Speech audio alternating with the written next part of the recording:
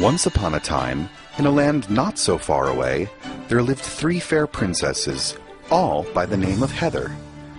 Each had received an invitation to the prom, but of course, no princess could attend the prom without the proper dress to make her the most beautiful girl at the dance.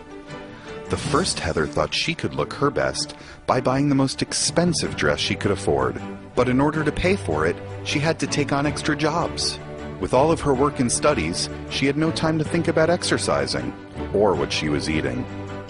The second Heather decided she could look her best by losing weight, but all she wanted to try were supermodel crash diets and celebrity cleanses she had seen in magazines and on TV.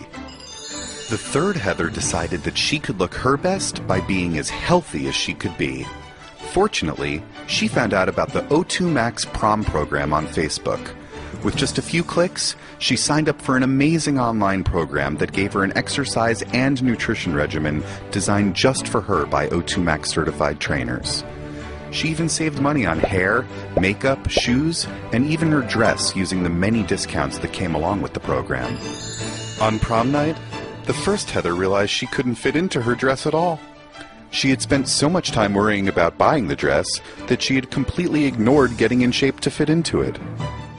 The second Heather, sadly, spent the evening on her bedroom floor, passed out from malnutrition after one too many fad diets. And O2 Max Heather? She truly looked like a princess. She felt great, and her date couldn't have been happier when they were crowned queen and king.